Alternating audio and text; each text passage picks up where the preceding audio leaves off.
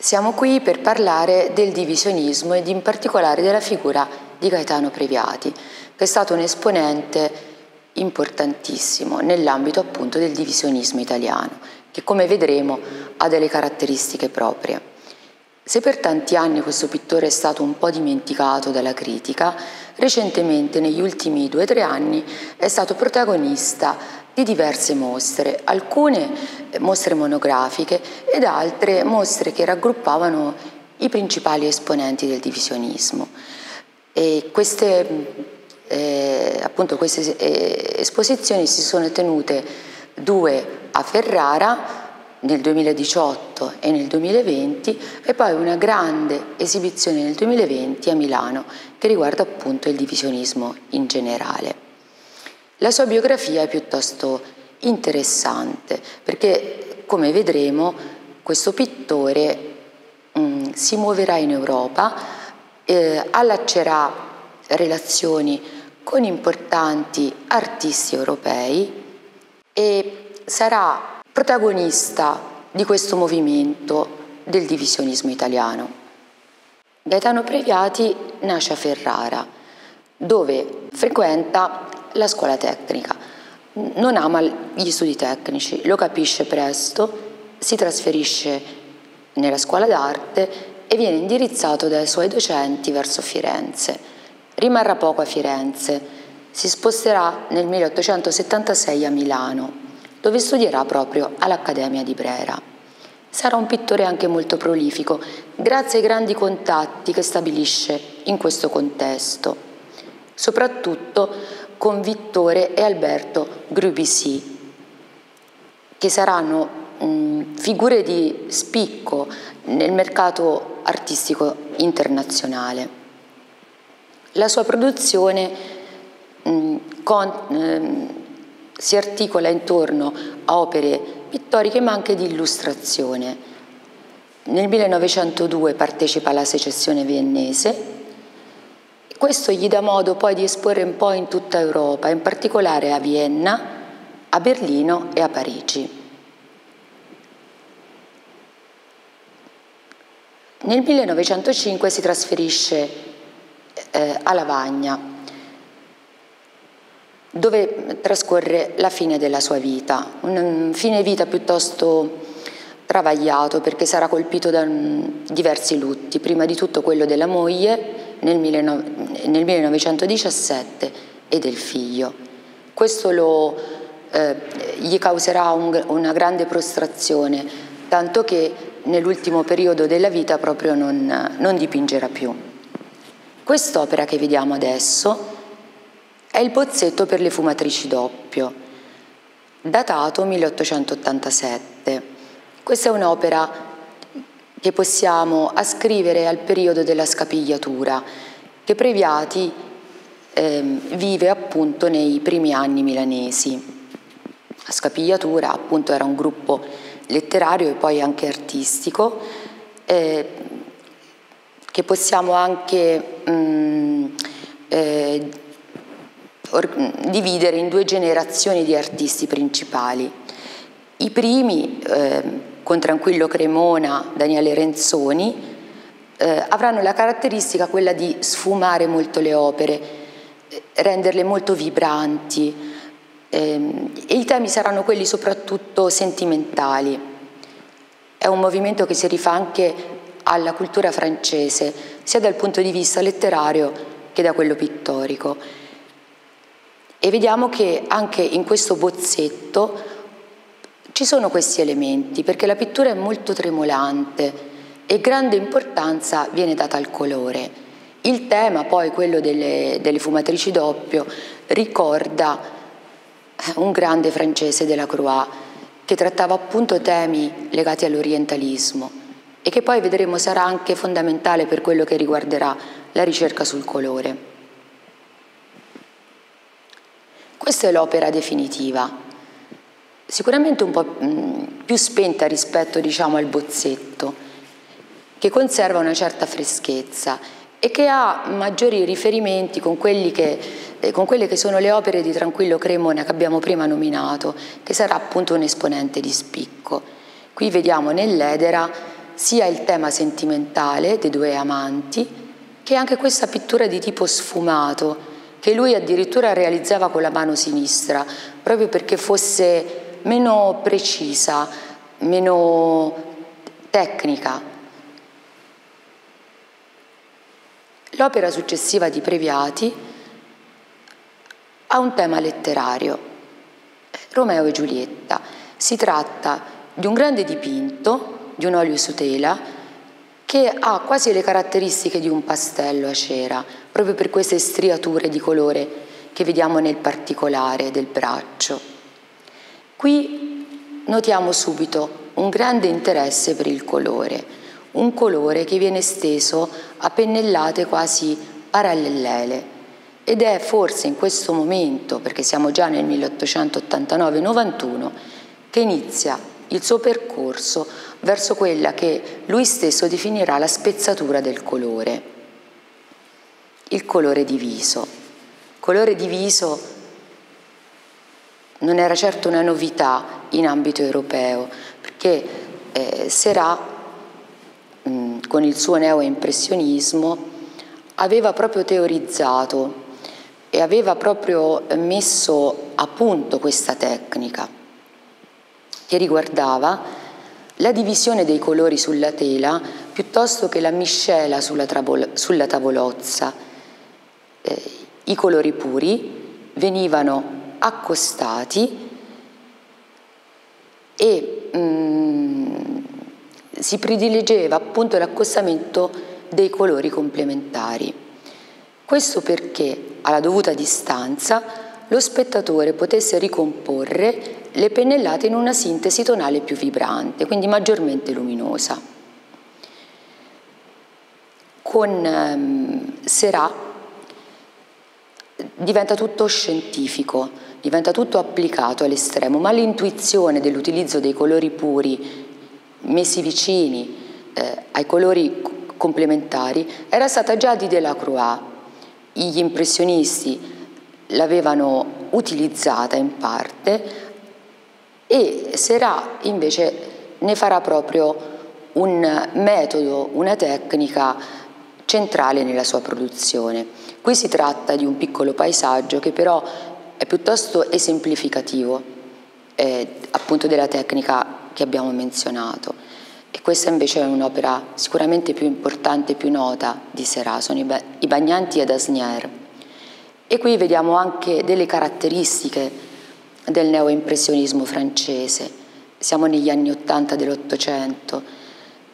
Se eh, si definisce neoimpressionismo come una prosecuzione dell'impressionismo, in realtà le sue caratteristiche saranno piuttosto diverse perché la pittura non è più immediata ma diventa meticolosa, di lentissima elaborazione.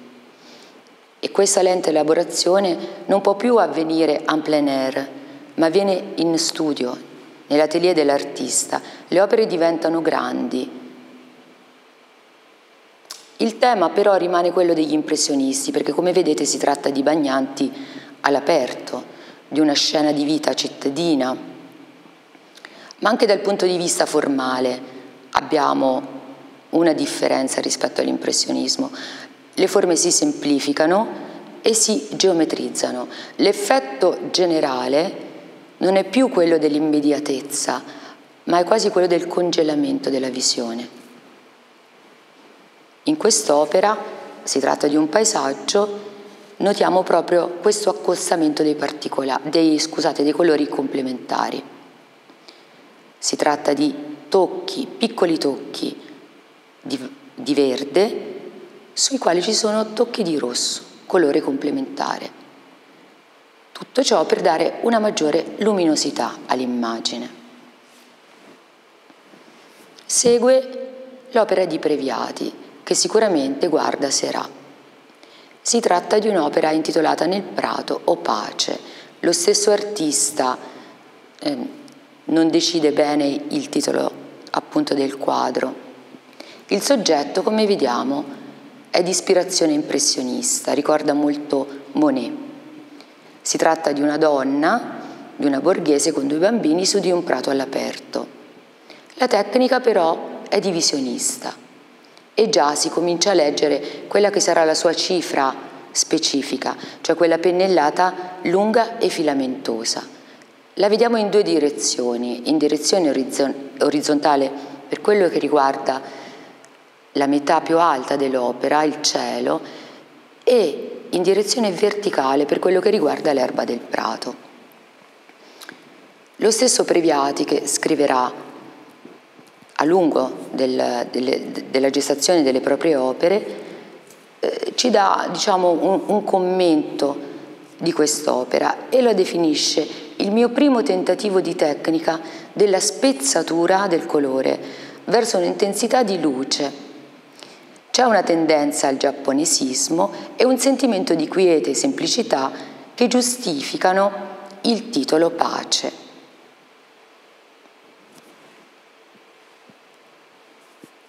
Anche quest'opera si richiama alla precedente, si tratta sempre di un paesaggio, un'opera un po' più tarda, sono quelle colline liguri dove lui deciderà di, di trascorrere poi la, la fine della sua vita. E vediamo che anche in base a quello che abbiamo letto delle parole dello stesso autore, la sua ricerca è una ricerca di tipo tecnico, però guidata da un, un interessamento verso l'emotività, verso il trasmettere del, degli stati d'animo, delle emozioni. Ma Previati non è l'unico protagonista del divisionismo italiano. Eh, possiamo notare anche questi due piccoli tondi di Pe Giuseppe Pellizza da Volpedo del 1901 che dovevano in inizialmente far parte di un ciclo il ciclo degli idilli, ma che lui interrompe perché Bellizza era, era solito iniziare tante opere insieme, poi la gestazione del quarto stato lo eh, coinvolgerà al punto tale da interrompere questo progetto. Si tratta appunto di idilli, il primo idillio primaverile chiamato anche girotondo che riguarda il tema dell'infanzia, poi successivamente l'idillio verde eh, dove viene ehm, rappresentato l'idillio amoroso della giovinezza. E in queste due opere vediamo come invece la pennellata divisa di Pellizza sia realizzata a piccoli tocchi e sia mh, in, anche concentrata nella resa cromatica degli effetti in controluce. Questa è l'opera che sicuramente rende Previati molto noto. Si tratta della maternità, realizzata tra il 1890 e il 1891, che Previati espone nel 1891 nella prima triennale di Brera. Questa occasione sarà proprio il punto di partenza, la nascita del divisionismo italiano, perché come vedremo accanto a lui esporranno anche gli altri esponenti del divisionismo. E fu un'opera molto discussa e molto criticata, come spesso avviene. L'iconografia si tratta praticamente di una rappresentazione sacra, la Madonna che allatta il bambino, una Madonna del latte, soggetto medievale, con gli angeli intorno.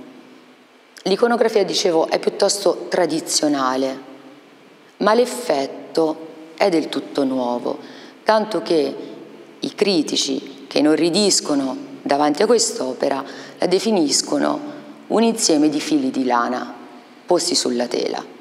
Questi fili di lana ovviamente sono le pennellate filamentose di cui parlavamo anche prima e che in quest'opera notiamo insieme le dimensioni, eh, larga 4 metri, sono ancora più evidenti, proprio mm, grazie diciamo, a queste dimensioni. Ecco. Quest'opera sembra che dal punto di vista biografico sia stata ispirata alla nascita del figlio.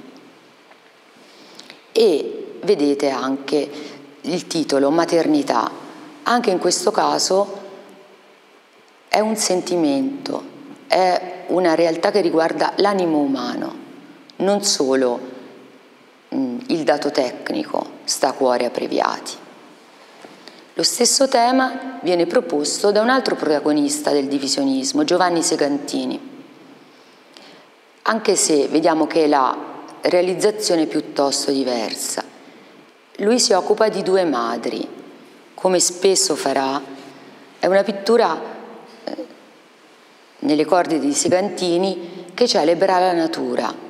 La maternità eh, è vista, è vista come un valore universale, riguarda sia l'uomo, con la donna e il bambino in braccio addormentato, che l'animale. Vediamo anche il vitellino appunto ai piedi del, della madre. Ma a differenza di, di Previati, Segantini non trascende mai il dato di realtà, per cui l'opera fu anche molto più apprezzata rispetto a quella di Previati. In questo caso è protagonista la luce e la pennellata divisionista rende tangibile un po' la rozzezza del, dell'abito della donna e, e, il, e il mantello ispido dell'animale. Per questo aggancio appunto con il dato concreto, quest'opera sarà infatti molto, molto apprezzata dai critici. Come vedremo però anche Giovanni Segantini realizzerà delle opere di stampo divisionista influenzate anche dal simbolismo, come avveniva appunto per, per Previati. E abbiamo questi due oli l'amore alla del, eh, alla fonte della vita sulla sinistra e l'angelo della vita, che trattano, come abbiamo visto sia per Pellizza che per Previati, delle riflessioni sul, sullo stato dell'umanità, sugli stati d'animo, sulle situazioni che l'umano si trova a vivere nel corso della propria esistenza. Un'altra opera esposta sempre nel 1891, la prima triennale di Brera, sarà l'alba di Morbelli.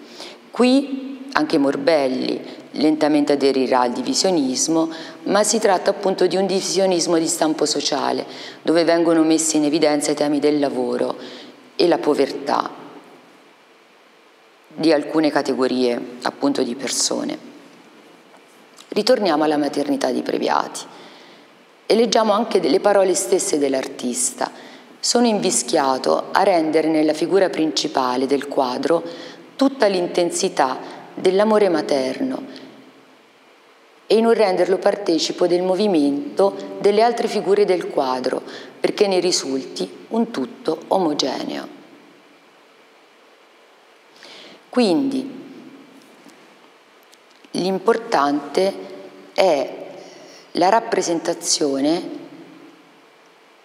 dell'intensità di uno stato d'animo, di una condizione umana e contemporaneamente anche la resa del movimento.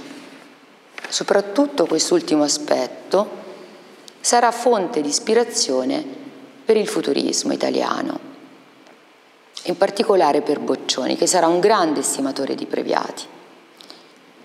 Vediamo quest, qui due opere, il primo nudo di spalle contro luce, si tratta di un ritratto della madre di Boccioni, quindi ecco, anche qui ritorna il tema della maternità, che coinvolgerà Boccioni nelle prime opere, che sono realizzate, come si vede, con la tecnica della spezzatura del colore, anch'esse. Vediamo delle pennellate di colori puri che costituiscono degli effetti luminosi sull'incarnato della donna. E, su, e accanto vediamo un'altra opera invece, Profumo di Luigi Russolo, altro esponente del futurismo. In questo caso vedete che la pennellata vorticosa serve a creare un movimento, ma è il movimento dell'essenza del profumo che si sprigiona, alla ricerca quasi di una sinestesia nell'opera. Gli stati d'animo però interesseranno Boccioni anche successivamente, con la serie appunto intitolata Stati d'animo e tre, le tre opere, i tre quadri, quelli che vanno, gli addii e quelli che restano. E qui più si, mh, mm, ci si rende conto dell'influenza del divisionismo nel futurismo italiano e anche dell'utilizzo della direzione della pennellata con il significato di voler mh, mm, rappresentare un sentimento. Vediamo la pennellata ascendente nella prima opera, quelli che vanno, dove sicuramente c'è un'emozione, un entusiasmo per la partenza, la pennellata ondulata nell'opera centrale degli addii e la pennellata verticale a cui corrisponde anche un colore freddo, perché anche il colore sarà ovviamente oggetto di riflessione, dell'ultima opera Quelli che restano. Ci ricorda un po' anche lo studio di Kandinsky, mm, che sarà anche successivo in realtà rispetto all'opera del futurista, che servirà proprio a stabilire una relazione mm, quasi univoca tra la direzione della pennellata, della linea e ehm, l'impressione che il colore hanno sul, appunto sul, sulla visione dello spettatore per mm, coinvolgerlo dal punto di vista emotivo e ottenere diversi effetti.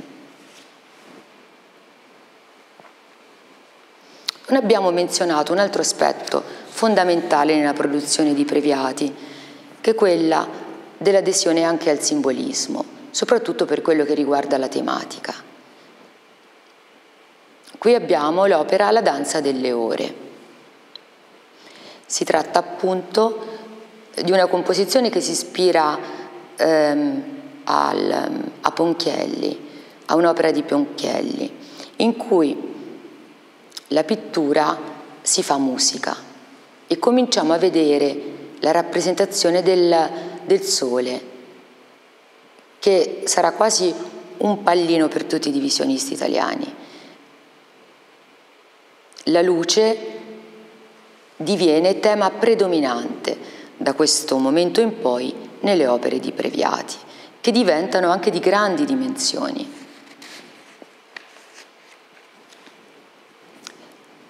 Simbolismo perché?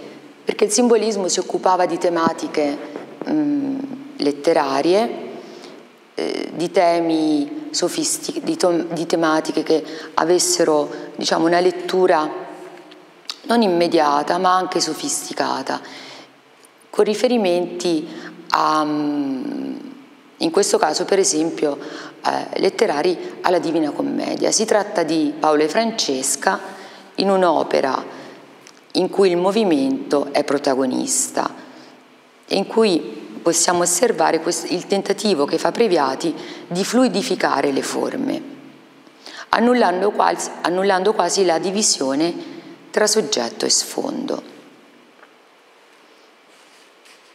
Un altro quadro interessante è l'assunzione perché ci dà modo anche di esplorare un altro aspetto della produzione di Previati che riguarderà appunto mh, le tematiche religiose. In questo caso, più che un tema religioso, possiamo quasi definirlo una visione trascendente. E quest'opera è stata oggetto anche di uno studio interessante perché è, messo, è stata messa in luce la sinestesia che Previati cerca di, mm, eh, di raggiungere. Si tratta di, de, dell'Assunzione della Vergine, dove originariamente gli angeli che vedete la sorreggono, la portano fino a, al cielo, dovevano avere in mano degli strumenti musicali. Poi il pittore cambia idea e trasforma la stessa Vergine in uno strumento musicale, assume quasi le, le sembianze di una grande lira, proprio alla ricerca di questo ehm, riferimento musicale nelle sue opere, perché lui era convinto che la vibrazione del colore eh, avesse assonanza con la vibrazione musicale e riteneva la musica la forma d'arte più alta. Un'altra opera invece diversa dal punto di vista compositivo è il trafugamento del corpo di Cristo del 1912. Qui abbiamo anche diciamo, una, un episodio non proprio canonico. Hm? C'è da dire che lui aderì anche a Rosa Croce a Parigi, per cui sicuramente il suo immaginario eh, era stato colpito anche da ehm, immagini che poco avevano a che fare forse con la religione tradizionale. Qui l'opera è divisa in due, appaiono le tre croci e ritorna questo cielo dorato, che sarà un po' la cifra distintiva del Previati maturo. E qui vediamo un po' che accanto all'opera eh, di pittore, Previati mh, produrrà anche dei, dei trattati che si occuperanno proprio di mettere a punto le regole per questa nuova tecnica divisionista. I principi del divisionismo è una delle opere e questo testo è corredato da immagini realizzate e schizzi realizzati dal pittore stesso, la cui data 1906 mh, eh, anticipa di quattro anni lo spirituale nell'arte di Kandinsky, che avrà più o meno lo stesso oggetto di studio, cioè quello che dicevamo prima, ehm, il fatto che alcune linee suggeriscono specifici stati d'animo, così come alcuni colori si riferiscono a particolari emozioni. L'insieme di linee a colore può eh, trasmettere a chi mh, osserva l'opera eh, una sensazione eh, specifica. E qui vediamo appunto eh, del, degli esempi in cui eh, vengono evidenziati i colori complementari, l'azzurro e l'arancio. Anche questo testo si occuperà sempre della tecnica della pittura. E adesso abbiamo una serie di opere, anche piuttosto simili tra di loro, che come anticipavo prima, avranno come protagonista la luce. Queste appunto sono le opere di grandi formati. Questa è un'opera conservata presso la Galleria Nazionale d'Arte Moderna e si intitola La creazione della luce, dove vediamo irradiarsi tutti questi raggi solari. E fino al 2013 eh, presso la Galleria Nazionale di Roma era allestita una sala chiamata proprio la Sala Priviati, dove veniva esposta quest'opera, insieme ad un altro quadro molto famoso e molto bello, che è Il Sole Nascente di Pellizza da Volpedo.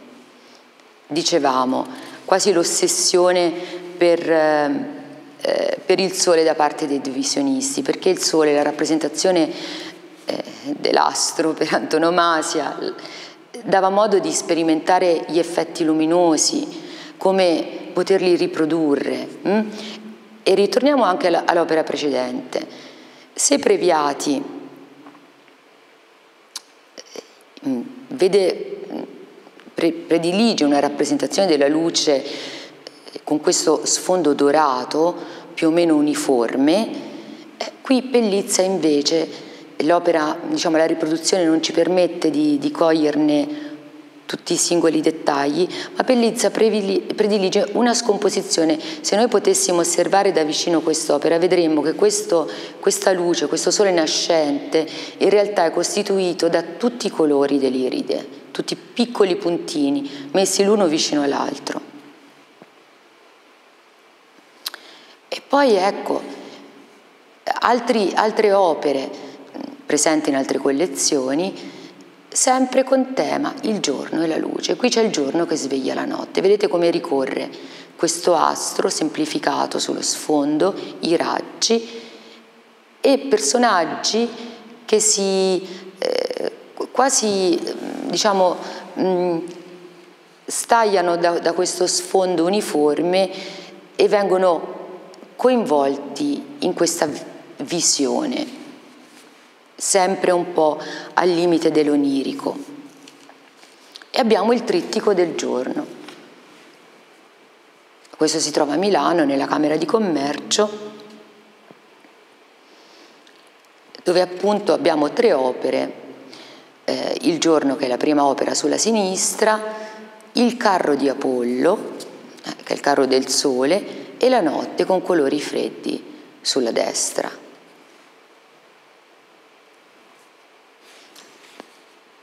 Troviamo anche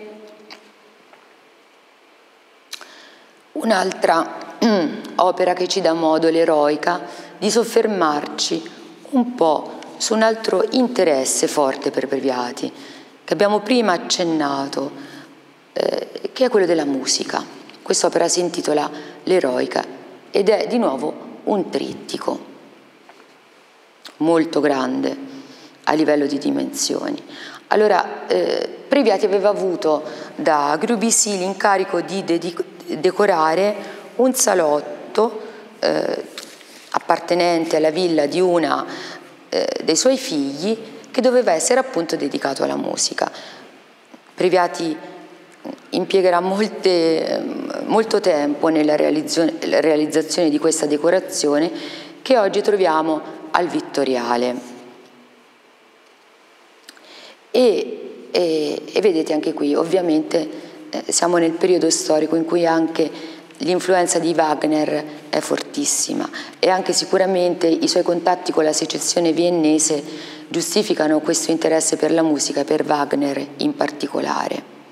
Ma su questo trittico possiamo fare anche un'altra riflessione, cioè su quanto fossero mh, mm, rilevanti le cornici dei trittici e in generale delle opere di Previati, che sono più o meno tutte dello stesso artigiano, che era appunto Ettore Zaccari, proveniente da Cesena e trasferito anch'egli a Milano. E anch'egli parte del team diciamo di Grubisi. Sarà Grubisi a incaricare appunto Zaccari di realizzare le cornici per molti degli artisti che esponevano eh, presso le sue gallerie. C'è da dire che Previati aveva avuto, mh, anzi scusate, Grubisi aveva avuto l'esclusiva su Previati, nel 1911 eh, istituisce proprio la società per la diffusione delle opere di Previati, Grubisi, e si occuperà in tutto e per tutto un po' della pubblicità dell'artista e in questo periodo commissiona delle cornici a Zaccari che potessero fare una sorta anche di restyling delle opere precedenti dell'artista. Si tratta di cornici piuttosto semplici, se confrontate con altre dello stesso periodo, che hanno un po' un gusto quasi quattrocentesco e che possono mm, essere posti a cavallo tra il Liberty e il Deco, in cui appunto le modanature si fanno geometriche e gli elementi decorativi eh, essenziali. E, e, si tratta appunto di eh, vere e proprie opere d'arte che valorizzano i quadri in cui sono esposte. Vedete, sono molto simili. Eh? Poi questa ricorrenza sempre per la tripartizione, per il trittico. Questa è un'opera intitolata La caduta degli angeli, molto simile anche alle opere che abbiamo visto precedentemente. Un, altro quadro, un altro trittico, diciamo, incorniciato da Zaccari, però forse più meditativo, è questa migrazione in Valpadana. Si tratta di una delle ultime opere. Vediamo gli alberi e ai piedi degli alberi questa fila di pecore che vanno verso la luce. Anche qui c'è un richiamo, un'altra opera di Pellizza da Volpedo, che aveva proprio come soggetto questo, questo gregge di pecore che sfilava, quasi una meditazione sulla condizione umana. Di Giacomo Balla invece è quest'opera articolata, vedete, eh, composta da più pannelli, che richiama un po' questa scansione molto in voga eh, agli inizi del secondo decennio del 1900 e anche quest'opera alla Galleria Nazionale d'Arte Moderna era esposta qualche anno fa in eh, confronto con le opere di Previati.